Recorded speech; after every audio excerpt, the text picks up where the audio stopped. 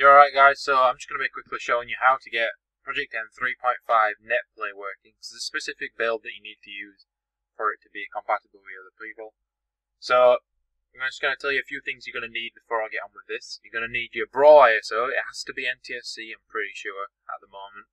Uh, you can acquire that however you want to acquire it, it's not, none of my business. Uh, you also need the link in the description to the MediaFire download, and you're also going to need Dolphin.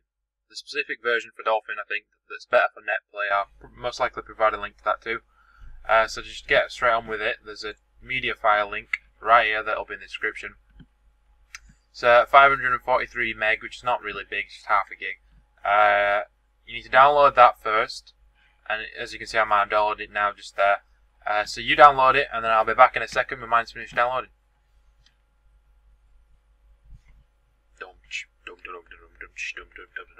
Downloads, downloads, pass the time on downloads. Right, so to pick up where we left off, my download's finished, as you can see at the bottom left.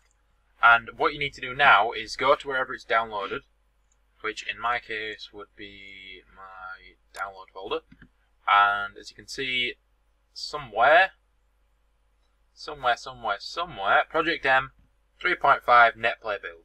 So what want to do with that, you can either open it and just extract it into your downloads folder, which I'm not going to do because I've got a download folder on my desktop designed just for this purpose. So I'm just going to drag it in there. You can do the same thing to make it easier.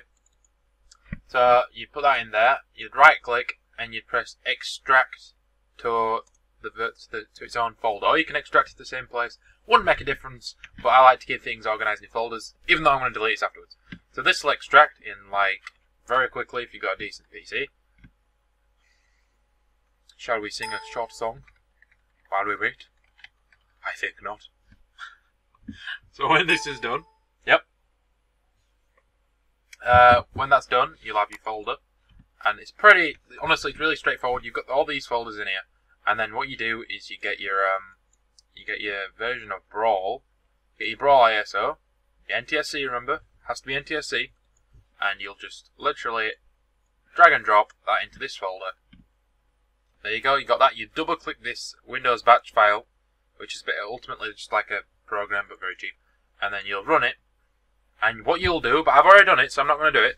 You press any key to continue, it'll build your ISO in about 2, 3, 4, 5, 6, 7, 8, 9 minutes, and then it'll be done. You'll have your own ISO, and it'll be about 7 gigs, which is a bit a bit smaller than the original Brawl, Brawl ISO. So once that's done, it's pretty straightforward here. This is where the Dolphin part comes into it.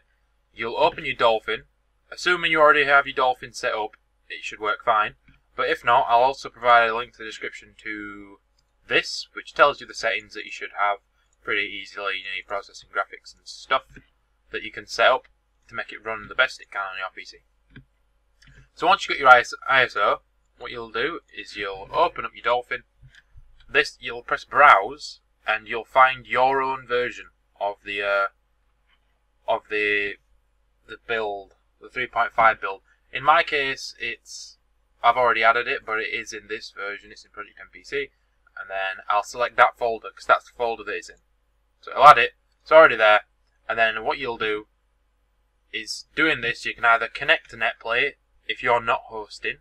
If you're hosting, you'll right-click, you'll press Host NetPlay again.